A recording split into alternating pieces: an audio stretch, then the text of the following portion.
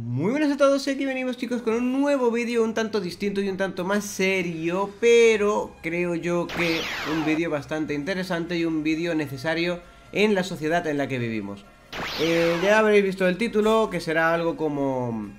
Eh, yo qué sé Cómo saber si tu relación es tóxica, si está rota o relación tal o lo que sea, ¿vale? ¿Por qué hago este tipo de vídeos? Porque creo que es muy necesario hacerlos porque eh, la gente normalmente suele estar bastante engañada respecto a muchos temas en cuanto a las relaciones, en cuanto a cómo llevarlas y en cuanto a, sobre todo, el tema de pensar que siempre hacemos nosotros bien las cosas y la otra persona es la que las hace mal.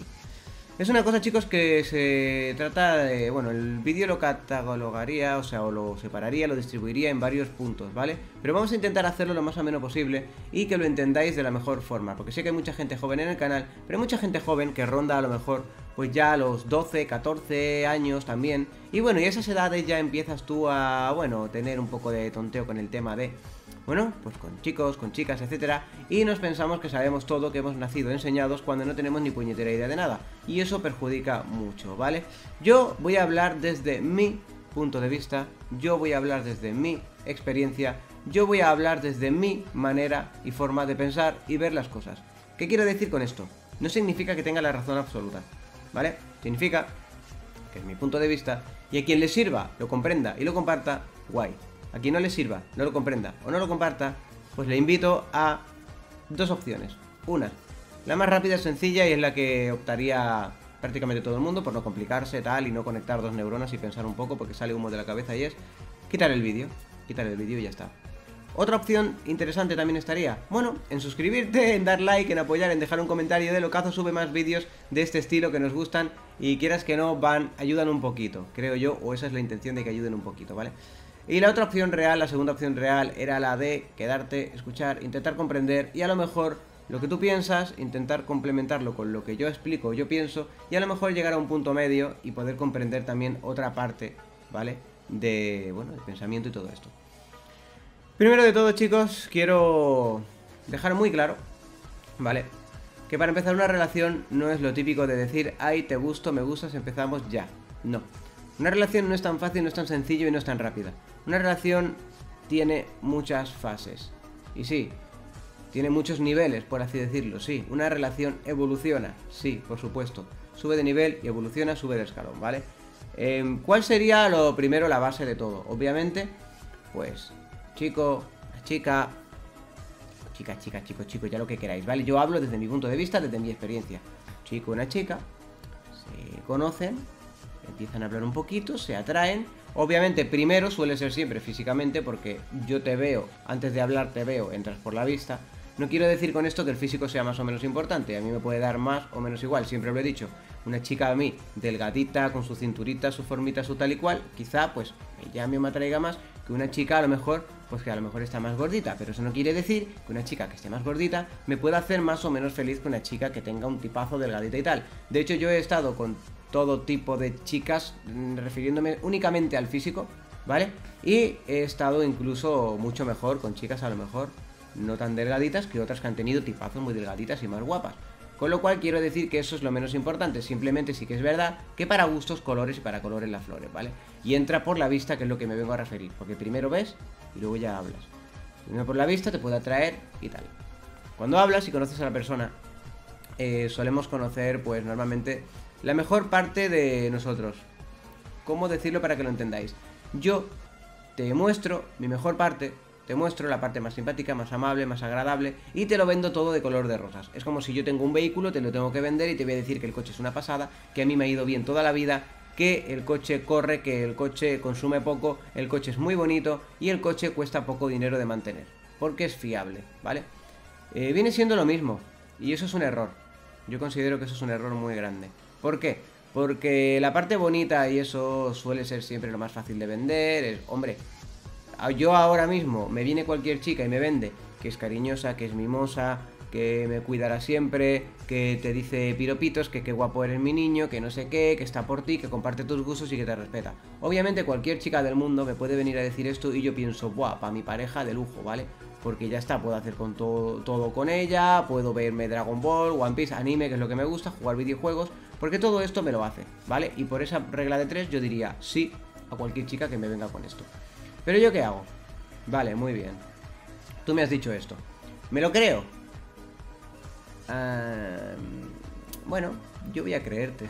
Mm, no tengo por qué desconfiar de primeras. Pero ¿qué hago? Repito. Continúas conociendo a la chica. Continúas. Y igual que le dices lo bueno, le dices las partes malas. Por ejemplo, yo tema de hijos.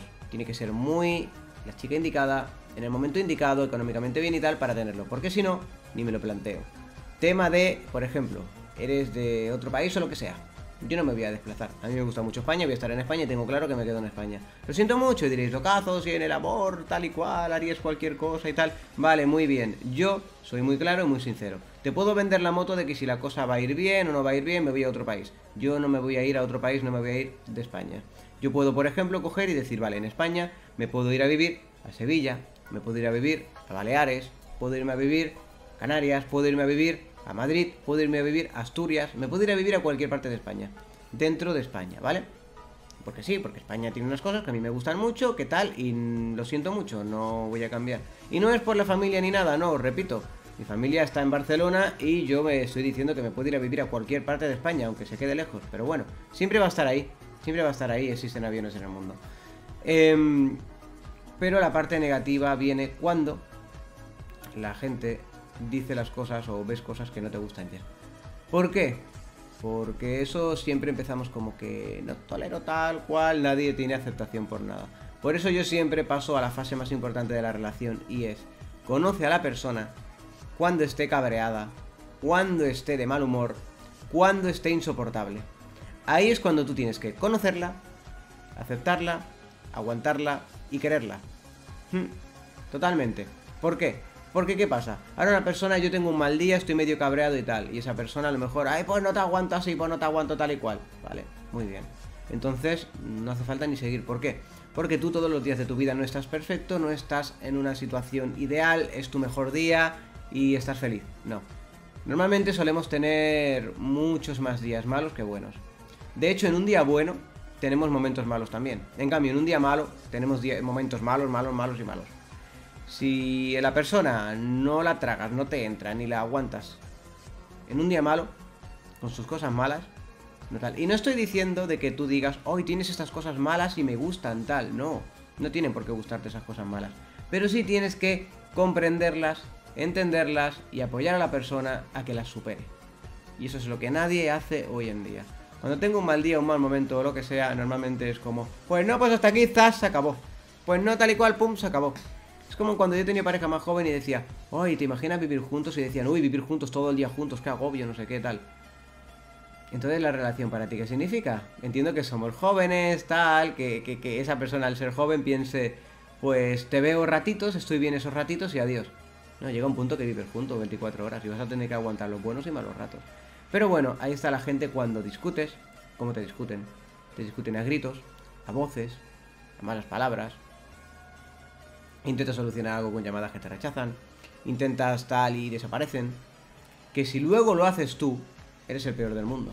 Porque a ti te lo pueden hacer, ¿vale? Esa es otra cosa también muy importante. A ti te pueden hacer una cosa, ay, no pasa nada, estaba cabreado, estaba no sé qué y tal, entiéndeme, tal, y dices, venga, va.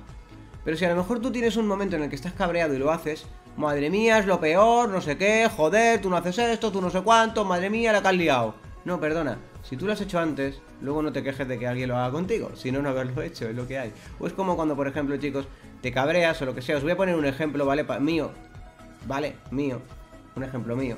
No voy a decir ni de cuándo, ni con quién, ni por qué, ni por nada, ¿vale? Un ejemplo mío. Estás en un grupo, estás a lo mejor con algo de familia, o estás con algún familiar o lo que sea, ¿vale? Y estás muy bien para conocerte, toda la historia, ¿vale? Y de repente tienes un cabreo, ¿vale? Y te pegas un cabreo, lo que sea, más o menos pequeño por un motivo más o menos importante, da igual.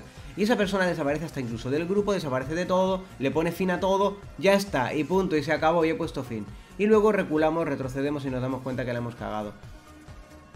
No, yo siempre lo he dicho, hablemos las cosas normal, hablemos con calma, intentemos estar serenos, suaves y hablar bien las cosas. Cuando empezamos con voces, con gritos, con cosas que tal, no. Porque llega un punto que incluso hasta yo cojo y hago. Teléfono, clac, apagar, adiós y a tomar por culo. Hmm, Y considero que soy una persona que tiene mucha paciencia, pero tengo un límite también. O tengas más o menos, tienes un límite. Pero bueno, mm, esto se suele hacer y ya la persona es como que, ¡ahora venga, pu! Desaparezco porque sí. O te menciona habitualmente el tema de la opción de que se deje todo, de que a lo mejor no funciona, de que tal es difícil. Vamos, la opción de dejar la relación o de cortar la relación. Eso duele. Con lo cual, si alguien te menciona por primera vez eso, yo os doy un consejo y una recomendación que creo yo que va a ser muy efectiva en la vida. A la primera vez que lo mencionen, darle el gusto, el honor y el placer de llevarlo a cabo decirle sí, vale, pues venga, ya está, pum. ¿Por qué? Porque si no, a cada cosa que pase va a salir esa mención y vais a vivir con el miedo de, hostias, a ver si hago esto y me va a dejar, a ver si esto, a ver si lo otro, a ver si me va a dejar. Y eso no es una relación, eso es una mierda tóxica. Con lo cual, a la primera que os lo hagan, yo por ejemplo lo he hecho a la tercera. A la primera, dar el gusto. Salud. ¿Veis? Porque al final os produce alergia a esas cosas y tal y... Es broma. Chicos, de verdad, a la primera. Yo tengo 34 años, tengo ya experiencia, considero que he aprendido mucho ya. De hecho, en el último año he aprendido muchísimo ya y creo que sin hacerle daño a nadie, ve por tu camino, no le hagas daño a nadie y a la mínima que haya algo de toxicidad por medio, cortarlo, chao chao, que vaya muy bien, yo por mi camino, tú por el tuyo. Sí, y diréis, buah, si hacemos esto siempre y tal, al final terminamos solos. Y yo os hago una pregunta. Oye, ¿qué tiene de malo estar solo?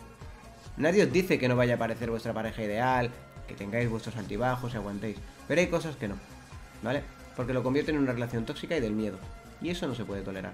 Chicos, yo espero que os haya servido. Si os gustan este tipo de vídeos, consejos, etcétera, cómo saber si tienes una relación tóxica, una relación que no va a funcionar, cómo vas a saber si tu relación está rota, o cómo saber cómo llevar, por ejemplo, una relación a distancia, puedo hacer algún otro vídeo y os doy algún consejo, porque alguna a distancia he tenido y os puedo asegurar que hay que saberla llevar. Así que si queréis, compartir, suscribiros, dar like y todo esto al canal y nos vemos en el siguiente vídeo. Chao, chao.